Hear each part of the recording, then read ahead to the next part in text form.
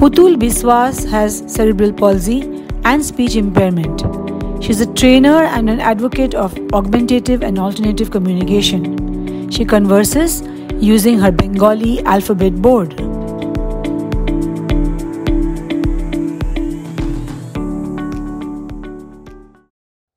Break Free Solutions brought to you by EI Labs and Project Discovery. Partnered by Enable India, Trinayani Sethi Foundation, Allergis Easy, CII Young Indians, and Young Indians Accessibility.